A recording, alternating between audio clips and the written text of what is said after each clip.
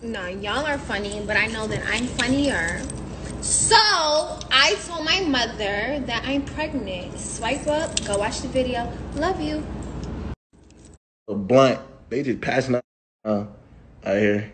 So it is what it is, bruh. All I'm letting y'all know, she just fucked some weeks ago.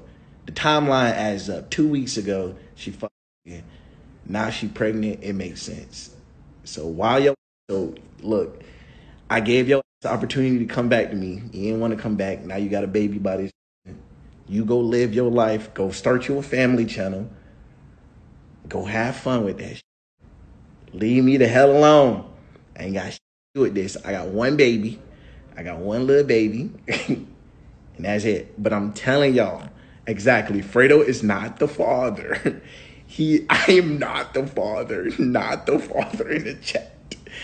I am not the father to that fake pregnancy test, and I am not the father if it actually is a real test. I'm not the father. Go start you a family channel with that nigga because blunt they just passing up.